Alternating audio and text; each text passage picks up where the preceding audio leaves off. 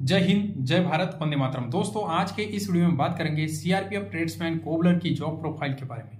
Cobbler की trade test में क्या क्या सवाल पूछे जाते हैं ड्यूटी कैसे होती है सैलरी कितनी मिलती है प्रमोशन कैसे होता है फैमिली रखने के लिए मौका मिलता है या नहीं मिलता है इस जैसे कई सारे सवालों के जवाब लेके इस वीडियो में आया हूँ। तो दोस्तों, जय हिंद, मैं Gyaneshwar Gaikwad commando and physical trainer welcome to my YouTube channel अगर आपने मेरे चैनल को सब्सक्राइब नहीं किया है तो चैनल को सब्सक्राइब करें एंड बेल नोटिफिकेशन को ज़रूर ऑन करें दोस्तों, जिससे भविष्य में आपको इसी तरह की इंफॉर्मेटिव जानकारी समय समय पर मिलती रहे। दोस्तों, अगर आपको वीडियो अच्छा लगता है तो लाइक करें और अपने दोस्तों के साथ में शेयर ज़रूर करें दोस्तों। तो दोस्तों, वीडियो को शुरू करते हैं। तो सबसे पहले हम बात करेंगे कि ट्रेड टेस्ट में क्या क्या सवाल पूछे जाते हैं। तो दोस्तों, जैसे ही आपका ट्रेड टेस्ट के लिए आपको आप जाओगे तो ट्रेड टेस्ट में दोस्तों, आपके चमड़े के बारे में पूछा जाएगा। ठीक है? चमड़ा को कौन कौन सा कैसे कैसे चमड़ा होता है? ठीक है? जूता जूते के बारे में पूछा जाएगा, पॉलिश के बारे में पूछा जाएगा जूता कैसे सिलाई करते हैं उसके बारे में पूछा जाएगा। जूता कैसे नया बनाते हैं? ठीक है? कौन सा चमड़ा कहाँ लगाने से अच्छा पॉलिश लगाने से कौन सा चमड़ा ज़्यादा चमकता है? ठीक है? पॉलिश कैसे करेंगे?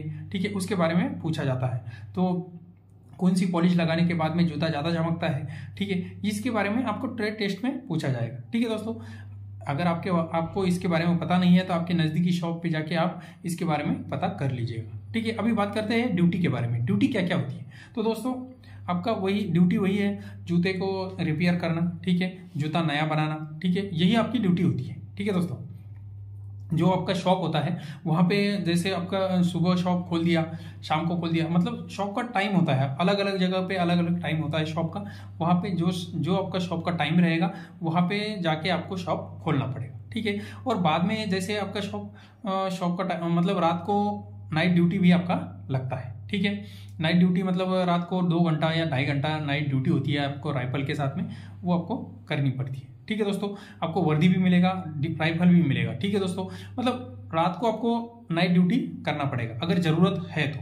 नहीं तो आपको, आपके शॉप में जो है, आपकी शॉप का जो टाइम है, वहाँ पे आपको जाना पड़ेगा, आपको शॉप खोलना पड़ेगा। और जो अगर जहाँ पे जूता बनाना के लिए बोल दिया है तो जूता बनाने पड़ेगा और या सिलाई करना पड़ेगा, जो भी है, वो काम आपको करना पड़ेगा। ठीक है दोस्तों? तो अभी बात करते हैं कि सैलरी के बारे में। कई सारे लड़के बोल रहे थे कि, सर, हमें जो ट्रेड्समैन को जीडी के जवान से सैलरी कम मिलती है क्या? दोस्तों, नहीं, बिल्कुल नहीं, क्योंकि जो जो जीडी के जवान को सैलरी मिलती है, वही आपको सैलरी मिलती है। कुछ अलाउंस होते हुए उसमें थोड़ा कम ज़्यादा होता है, ठीक है? बाकी जीडी के जवान की तरह ही आपको सैलरी मिलती है, ठीक है? आप अभी बात करते हैं कि प्रमोशन के बारे में। दोस्तों, आपका डिपार्टमेंटली प्रमोशन होगा। ठीक है, लेकिन आप डिपार्टमेंटली प्रमो टेस्ट एग्ज़ाम नहीं दे सकते, ठीक है? तो आप, अगर आपको, आपके पास में एजुकेशन है, आप अच्छे पढ़े लिखे हो तो आप बाहर से एग्ज़ाम दे सकते हैं, ठीक है? हवलदार की एग्ज़ाम आती है, ठीक है? सब इंस्पेक्टर की भी एग्ज़ाम निकलती है, जैसे असिस्टेंट कमांडेंट की भी एग्ज़ाम निकलती है तो आप बाहर से एग्ज़ाम दे सकते हैं, ठीक है? लेकिन आपको जो डिपार्टमेंटली एग्ज़ाम होती है, उसमें आप सम्मिलित नहीं हो सकते। नहीं हो पाते, ठीक है? और मतलब आप, आपको डिपार्टमेंटली प्रमोशन मिलेगा, लेकिन जो डिपार्टमेंटली एग्ज़ाम आती है एलडीसी की, उसमें आप भाग नहीं ले सकते, ठीक है दोस्तों? आप बाहर से एग्ज़ाम दे सकते हैं, ठीक है दोस्तों? अभी बात करते हैं कि आपका पोस्टिंग कहाँ कहाँ होगा। दोस्तों, ज़्यादातर पोस्टिंग जो होता है, आपकी जीसी में आरटीसी में सीआरपीएफ जहाँ भी जहाँ भी है, आपका वहाँ पोस्टिंग होता है। ऑल इंडिया जहाँ पे जहाँ पे सीआरपीएफ है, वहाँ पे आपका पोस्टिंग होगा, ठीक है दोस्तों? हम अभी बात करते हैं कि छुट्टी कितने मिलेगा। दोस्तों, आपको पचहत्तर दिन की छुट्टी मिलती है। पचहत्तर दिन में आपको पंद्रह दिन की सीयर होती है और साठ दिन ईयर होती है। ठीक है दोस्तों? और टोटल आपको पचहत्तर दिन की छुट्टी मिलती है। आपको कैंटीन की सुविधा भी मिलेगी। जो हॉस्पिटल की फैसिलिटी भी मिलेगी। ठीक है? हॉस्पिटल का जो फैसिलिटी मिलता है, वो भी आपको मिलेगा। ठीक है? फैमिली रखने, अभी कई सारे लड़के बोल रहे थे कि, सर, ट्रेड्समैन को फैमिली रखने के लिए मौका मिलता है क्या? तो दोस्तों बिल्कुल आपको फैमिली रखने के लिए मौका मिलेगा।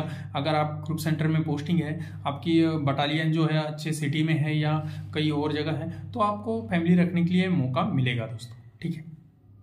यह नहीं है कि आपको फैमिली रखने के लिए मौका नहीं मिलेगा, आपको फैमिली रखने के लिए मौका मिलेगा दोस्तों, और जो क्या बोलते हैं, आपको फैमिली क्वार्टर्स भी मिलेंगे, ठीक है दोस्तों? तो यह नहीं है कि आप ट्रेड्समैन हैं तो आपको फैमिली रखने के लिए मौका नहीं मिलेगा। दोस्तों, आपको भी फैमिली रखने के लिए मौका मिलेगा। तो दोस्तों, आपकी जो अगर आपके पास में अच्छे आप पढ़े लिखे अच्छे हो तो आप बाहर भी मतलब बाहर से एग्ज़ाम देके आप बाहर जो है हवलदार बन सकते हैं या अगर क्या बोलते हैं सब इंस्पेक्टर भी बन सकते हैं। तो दोस्तों, मेरे पुरानी बटालियन में जो एक मतलब ट्रेड्समैन था, वो अभी सब इंस्पेक्टर सब इंस्पेक्टर बन गया है, ठीक है? दोस्तों, जिसके पास में एजुकेशन है, अगर आपके पास में अभी कोई जॉब नहीं है, ठीक है? तो अभी ये जॉब मतलब कुछ ना होने से कुछ अच्छा कुछ होना सही है। लेकिन अगर आपके पास में एजुकेशन अच्छा है तो आप बाहर से जॉब के लिए अप्लाई कर सकते हैं, ठीक है? बाहर से आप एग्ज़ाम देके आगे बढ़ सकते हैं, ठीक है? अगर आपके पास में मतलब अभी अच्छी जो एजुकेशन है, आपके पास में कोई जॉब नहीं है तो आपके लिए ये जॉब ठीक है दोस्तों, ठीक है? लेकिन अगर आपके पास में अच्छी एजुकेशन है और आप आगे बढ़ना चाहते हैं तो आप बाहर से एग्ज़ाम देते रहिएगा। पढ़ाई करने के लिए बहुत मौका मिलेगा दोस्तों। ठीक है? ठीक है?